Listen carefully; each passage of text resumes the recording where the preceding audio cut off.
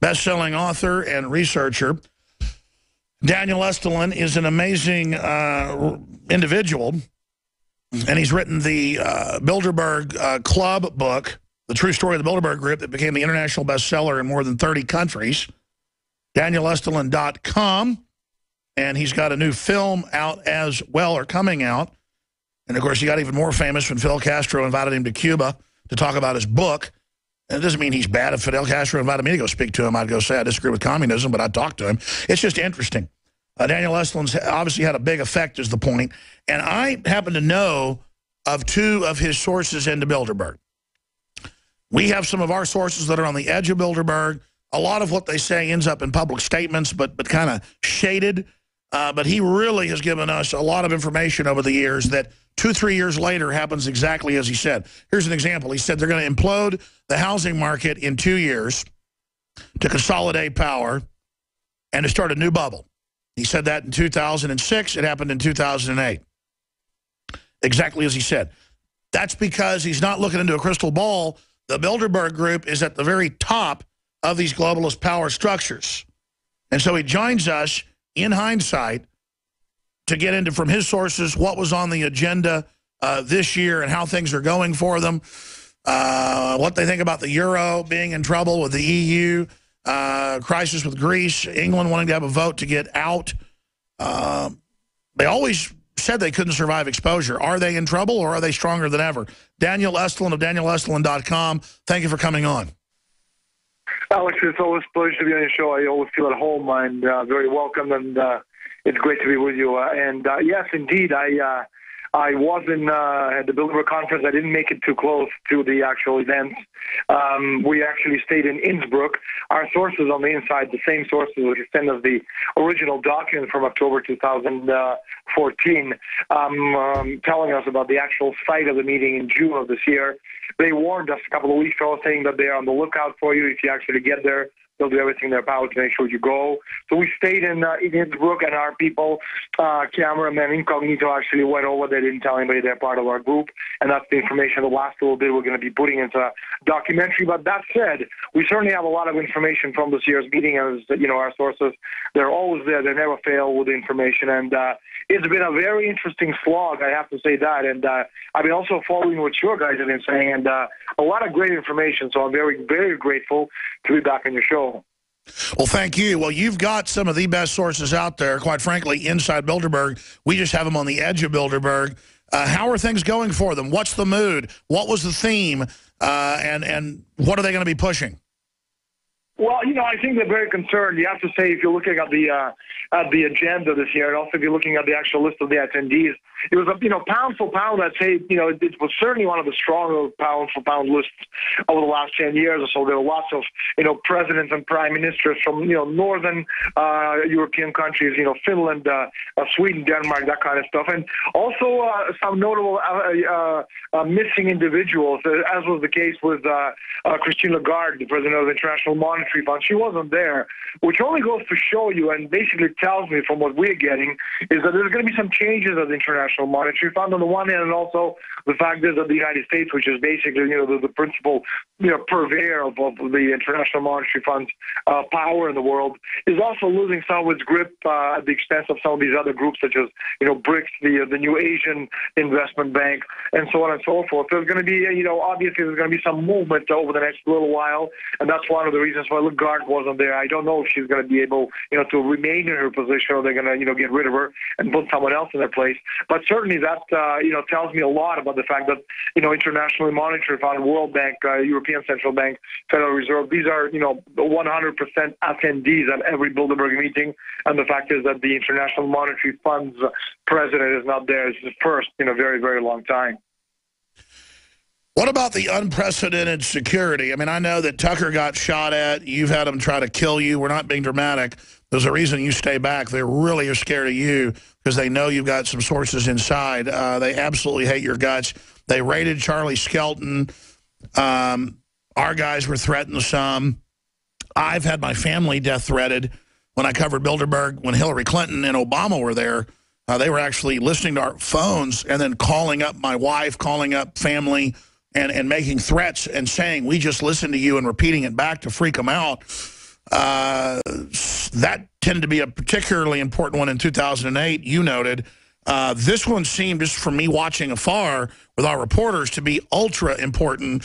I've never seen them put a cordon back six miles, Daniel. Well, you know, that's absolutely right. You know, one of the reasons they actually they started doing this back in 2007, the last year where you had, you know, fairly easy access or close enough you actually, you know, get them with a, you know, with, a nice big long lens was in 2006 when you came to Canada, to Canada on the outskirts of Ottawa. Before that, Jim and I were basically the only people going to these meetings. And when my book came out in the United States, and, you know, whenever you had a chance to see these photographs, which looked like it were taken like, you know, literally from two meters away, of course they weren't, but it looked like it, these people realized that they need to do something with the security. And then, you know, with the, with the onslaught of, of uh, online media and, you know, social media, it just became impossible for these people, you know, to keep this information, you know, under the lid. So they started pushing this thing further and further back. And, and this year, you're absolutely right. You know, they certainly got a little bit, you know, out of hand in this sense. But also, what what really surprised me, especially when I when I saw back in October 2014, the document where you know the Interior Ministry uh, basically telling all their people the vacation period for the June month of June is off the charts because the Bilderbergers are coming to town.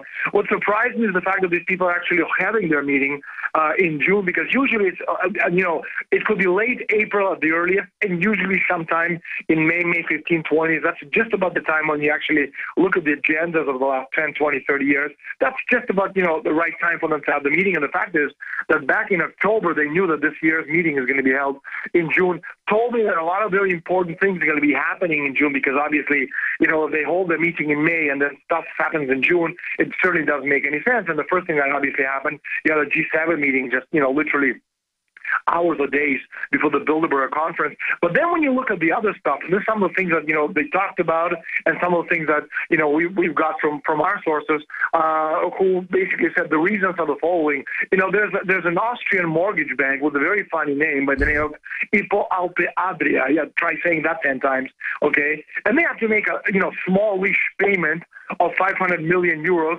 uh, you know, as a result of what basically happened when the Swiss depegged the franc and, you know, revalued their currency like, you know, 30% in, in 10 minutes. And so that's one of the things that happened. Uh, the southern province of Carinthia, uh, you know, backed away from, you know, pledges previously made by saying that we simply can't pay what the money, you know, the monies that we owe. And, you know, an important understanding is how all of these banks basically own each other's debt. In other words, the cross ownership, quote unquote, of that means that when one goes down, it will, you know, basically provoke a chain reaction of all the other banks going down. And while this isn't, you know, a huge trigger, this Hypo Alpe Adria, you know, it's a little bank. The fact is, is that all of Eastern Europe, can and will be affected. And, uh, you know, but what originally was from, you know, the Swiss depegging the franc from the euro. And, you know, with a system as illiquid as it is today, there's no telling how far, you know, this thing could reverberate. And of course, you know, you have Greece, which just recently missed the, uh, on June the 5th, the deadline, you know, for the payment, which was 320 billion euros. The money they simply don't have. And they said, you know, we're not going to print it and we can't, you know, we're not going to pay it, and we certainly can't print it. And so the only thing left is for them to default and fall into the open arms of Russia and China. And, you know, yesterday, the day before, right after the Bilderberg meeting finished, all of the European uh, newspapers in Italy, in France, in Germany, in Spain, they all basically said the same thing. If Greece walks, you know, gets out of the euro and um, defaults on its debt, you know, there's going to be a meeting in Brussels where jointly they're going to decide to close the banks and give us all a haircut. Anybody who holds more than 100,000 euros is going to be having to pay 10% of that money towards the bail-in, and anything under is going to be 6.75%, which isn't new. It's you know, it's, it all comes back from the uh, from uh, 2011 and the and you know the the whole Cyprus fiasco. But it just goes to tell you and to show you how a lot of this stuff is actually you know, playing itself out. You can, you know, talk about Ukraine, International Monetary Fund thing to, you know, restructure $10 billion worth of, you know, war yeah, fascinating. debt. You know, and that kind of stuff. Not to mention something else, which was very, very interesting. And again, well, well hold on, I, Daniel. we've got to we've got to go to break. When we come back, I want to get into that next point you were about to hit, and I want to ask you this other question. You mentioned the banks and and and, and the corruption of who was there. HSBC, with you know all these admissions of fixing rates and laundering money. You had the heads of HSBC, three of them there, top people with the regulators from the EU and the exchequer head, which regulates it in the UK. I mean, that right there is so illegal, so flagrant. Uh, they seem to be so bold. We'll talk about that with Daniel Estulin straight ahead. Fighting out in California. And then Greeks refuse to pay debt, declared illegal, illegitimate, and, quote, odious. Other nations set to follow suit. That's some of the news up on Infowars.com. Customer claims KFC served him fried rat. Well, that's going to be healthier than the chicken soaked in MSG. So you ought to be happy. Uh, privacy expert, time-traveling robots could punish future crime. D Daniel, um, how is their agenda going, of course? And when you got cut off from the break, you were trying to get into something you were saying that was that was really, really important. Go ahead. It's it's you know it's a very interesting point when you kind of look at the stuff you know from your bird's eye view and you see how these things kind of work together. For example, very very you know just a few days before the Bilderberg conference, uh, Russian government via Russian newspaper Pravda announced Chinese gold holdings of 30,000 tons. Now, if you kind of think about it, you say, what the hell? That doesn't make any sense. Why would a Russian newspaper, obviously working together with the Russian government, announce something, you know, as far as Chinese gold holdings, unless the Chinese and the Russians were working together using Russian newspaper Pravda to get the information out and actually pressure the Bilderberger some way because again, it's, you know, the timing is interesting. And, you know, to rehash this, Pravda, you know, they've released this article. They wouldn't do this without Moscow's permission. And so would Moscow have given them permission without the approval from Beijing when these two are working together? Obviously not. And what does that have to do with, you know, Kerry Obama uh, you know, Kerry going meeting Putin uh, not long ago in Sochi because that's an about face, you know, about the current policy of the United States. And so when you kind of look at this whole thing, you know, gold is a financial thermonuclear weapon. I mean, you've been talking about gold deposits for a very, very long time. And, you know, this is the kind of stuff that can actually destroy the fiat currency system of the West. And, you know, it wouldn't surprise, I think, anyone who really understands how things work, you know, if Washington was giving the courtesy, so to speak, of a heads up, you know, to some sort of you know, coming announcement, even if it's small or something, you know, sure. 30,000 tons, which is a hell of a lot of, you know, tons of gold. And so when you kind of look at this, and, you know, this announcement by China, it raises the questions of Western holdings, which of course brings Western currencies into question. Sure, well, we've seen them manipulating again, that with tungsten and, and, and, and naked shorting. What does it signify in Spain that they're talking about restricting sales of gold? I mean, that's got to show you that they're really worried about gold. Well, it basically tells you that you know the the, the whole thing is uh, you know is uh, is, uh, is is is done. If you look at what's actually going on in Europe over the last few days, uh, uh, France, Germany, Austria, Italy, they have closed down their borders, Alex. This whole Schengen Treaty in Europe, which basically created this one united borderless Europe, that's dead. You have tens of thousands, if not hundreds of thousands of immigrants coming into Italy, tens of thousands that are coming into uh, into France.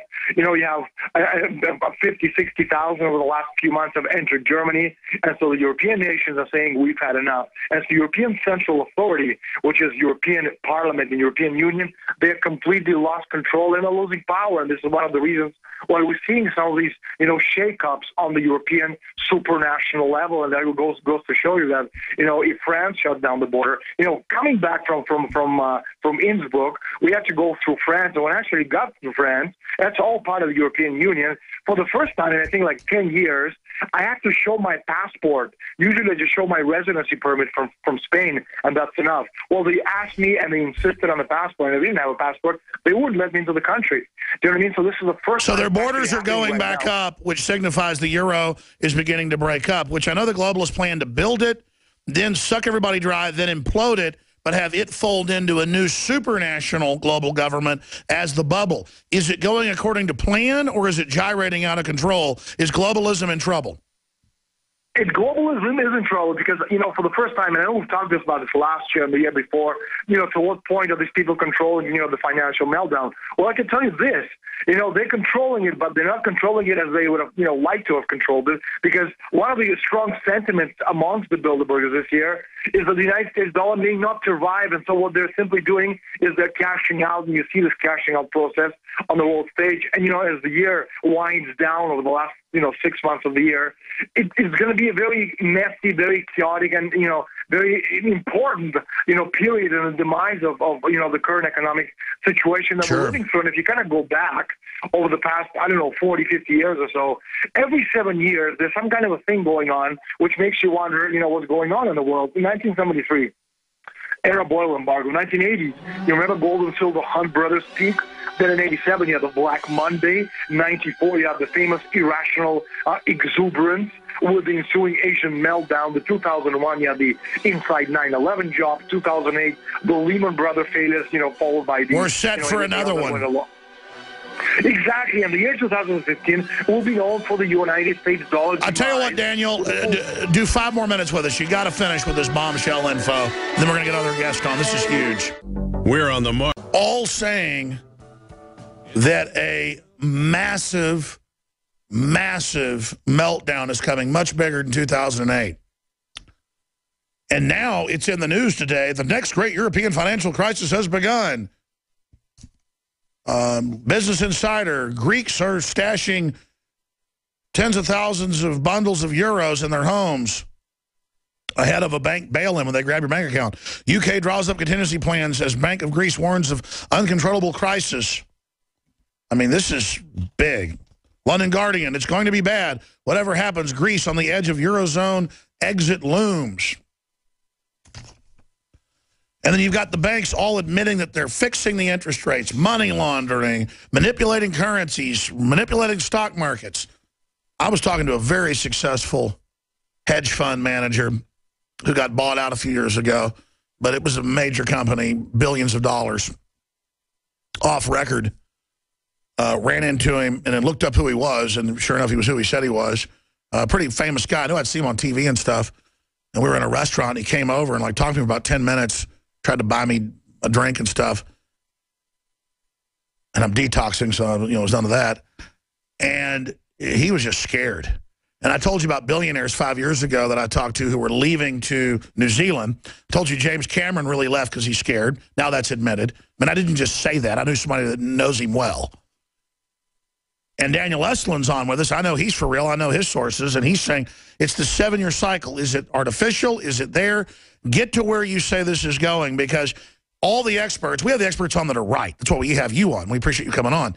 DanielEstulin.com, best-selling author, joins us, researcher, Bilderberg investigative journalist. But it, it seems like this new bubble so much bigger than the others. Am I right in saying this could be spectacular? And how bad could it be? Uh, I know you got to go, Daniel, so five minutes. What else do you want to impart to folks? Well, you know, it could be spectacular in the sense that you have gold right now at a thousand two hundred, a thousand three hundred dollars an ounce. Well, it could very well go to about fifty or sixty thousand dollars an ounce very shortly. And it's not me saying it. Bloomberg came out and said that, you know, shortly just you know before the Bilderberg conference. So I know this was on the agenda. And when we're talking about you know the dollar collapsing and Bilderberg is understand this and they're cashing out. Or with Bilderberg, or Bloomberg, which is Bilderberg and mainstream, they're talking about this thing actually going to fifty, sixty uh, dollars an ounce. You know, my guess is that Bloomberg has some type of information that China is going to announce their holdings in gold, which means that they have ten thousand tons or twenty or 30, as what uh, Russian Pravda said. So what does that mean to the United States? Well, basically what it means that after the announcement is made, you know, all the gold holdings, people are going to say, hey, wait a minute, where did these people get the gold from? Well, the obvious answer is from Western vaults, and the biggest Western vault is the United States. So the marketplace will make a judgment between Wow. the yuan, the Chinese currency, and the dollar. And, you know, so does that mean that Americans are going to, you know, voluntarily audit mm. their, you know, gold, gold holdings? Obviously not, but the market is going to make them because basically the marketplace will say, you do an audit or we'll keep selling the dollars. And so basically we could very much be looking at this massive implosion over the next few months. And the Russians and the Chinese, they haven't pulled the trigger to this point in all this you know, um, in-your-face provocation by the West and the United States because they weren't quite set up, but they are set up now. And I think we'll be seeing, as you said, September. Yeah, that's what I'm hearing too from a lot of people. So if September comes, you know, start building your Noah Ark now. You still have a little bit of time left.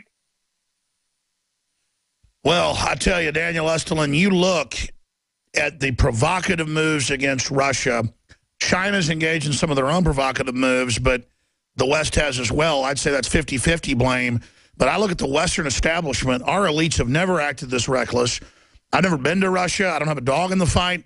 But I don't want to start fights with people. And I can't see geopolitically how destabilizing Poland, Ukraine, uh, and the Caucasus helps the Euro, the West, anybody. I mean, we are truly, our elites in our name are cut and dry bad guys. There's really no way to change that. Uh, Russia is, is now allied with Egypt, allied with Greece, allied China was bigger enemies with them than us. They're now buddy-buddy.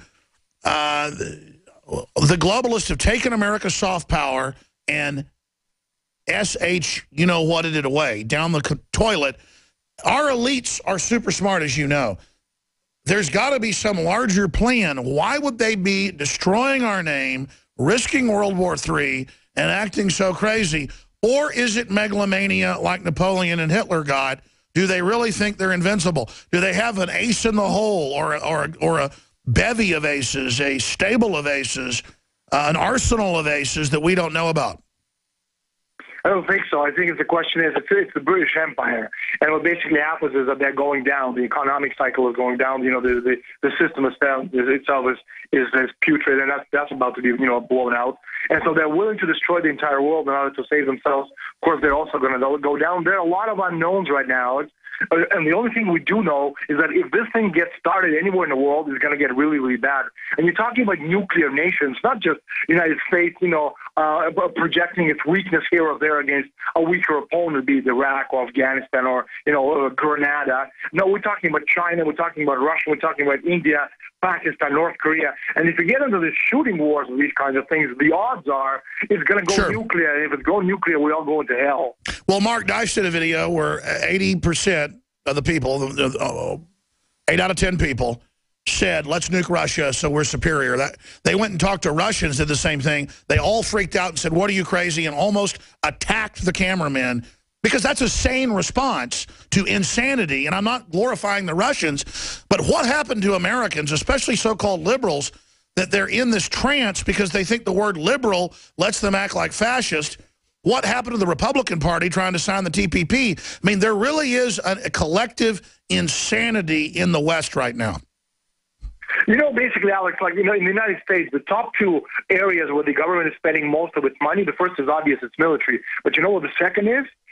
Fighting the discontent of the public. That's how much, you know, how, how much the elite are afraid of people's discontent. They're actually spending, you know, gazillions of dollars. That's tens of billions a month. Number two, after military spending, on making sure that people stay in line on every level of society. Because what used to happen in the 1960s and the early 1970s, the protests and so on and so forth, that is no longer the case. You have an occasional thing here or there, but a generalized thing because this is a country of 330 million people, and you know there's a lot of simmering, you know, uh, anti, you know, government protest on every level. Sure, but they're using high-tech brainwashing to pacify the public.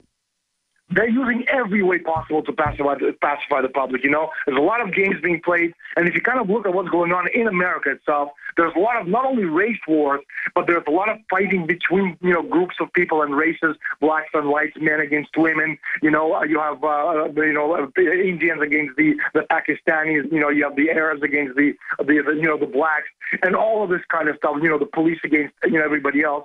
All this kind of stuff is, I have no doubt at all, is orchestrated from behind the scenes because while you're fighting each other, you don't keep your eye on the bigger prize, which is, you know, survival of the planet itself at the cost of these super. Sure. So bottom line, uh, the world government is being built. The Pope's out there endorsing it, uh, but at the cost of the planet itself. I mean, they may get world government for about a minute and then blow it up it's uh, it certainly doesn't look good. It's a very, very, very scary situation, especially as you don't have you know the politicians that we had in the world in the 60s and the 50s, Well, actually even the Bilderbergers who built Bilderberg, you know, in 1954 and the early 1960s, the people who came out of the you know early late 19th century or 20th century, uh, they're not there anymore. Now you have the people who are running the show. You have you know the crazy kooks who were born after the Second World War, you know the baby boomers, and they certainly don't have the gravitas of you know the Rockefellers and the Jacksons and the Prince Bernhards and you know, and, and the uh, and, and these individuals who actually put Bilderberg on the map. And so that's why we have the situation that we have that we're in because the older generation, the Kissingers who are, you know, 90, you know, the Rockefellers who just turned 100, the Brzezinskis, the, the Schultzes, you know, these people are old or dead or dying, and so they're completely out of the picture. They're just about to be out of the picture. And everybody else who basically runs the show right now certainly doesn't have this long, you know, uh, the distant tunnel vision that these others had way back Well, when. sure. That was my final question. DanielEstulin.com. I can't wait to get you on your new film. Four or five years in the making comes out. I've seen some of the cinematography, the trailer, truly amazing. Uh, David Rockefeller did just turn 100 uh, on June 12th. I didn't even know that. It just seems like yesterday he was 94 and put out memoirs. Uh, has I'm told David Rockefeller has faded. That's why Senator Rockefeller retired to take over the reins. For those that don't know, David Rockefeller has been there since his father set up the UN and the entire global government infrastructure. I mean, is anybody in modern world history more important than David Rockefeller? And what's the word on him? Well, you know, he's he's completely out of the picture. He's a hundred, so you know, it's. Uh, I, I don't think he's altogether intellectually he can be altogether. Certainly, Gaga is. You know, is. Uh, I don't think he'll be going to any public meetings.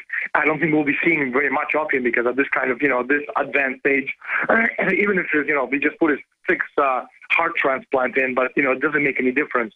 When you're 100, you're 100. Nature, you know, doesn't give time out, and he's out of the picture. But again, him being out of the picture only means that there's nobody else taking over the reins, so to speak, of organizations such as Bilderberg, and also Sure. the fact that there's no new blood. There's the people who are there. They all, you know, they all come from the same walks of life. They all talk to each other the same kind of language. And as They're in a bubble. They're in a bubble. They're in a bubble. They're smoking that's their own right, dope. exactly, Alex. They're in a bubble, and that means that you know there is going to come the time, not too long from now, if we're still around, that Bilderberg is going to be completely, you know, irrelevant simply because the people who are there they simply don't understand how the world works beyond, you know, the four walls that they operate within. Amazing. Well, I can't. When is your film coming out? I mean, I've seen clips of it. The film is done. Yeah, we just needed to put the uh, this last little bit of the Bilderberg meeting itself into the film, and it's finished. And we're going to be premiering in the United States in September. Well, I want to get you on then. Uh, anytime you want to come on, uh, we'd love to have you. Thank you, Daniel Estulin. Amazing information. Sure. That is a true. care. Thank you, sir. That's a true investigative journalist right there, of the highest caliber.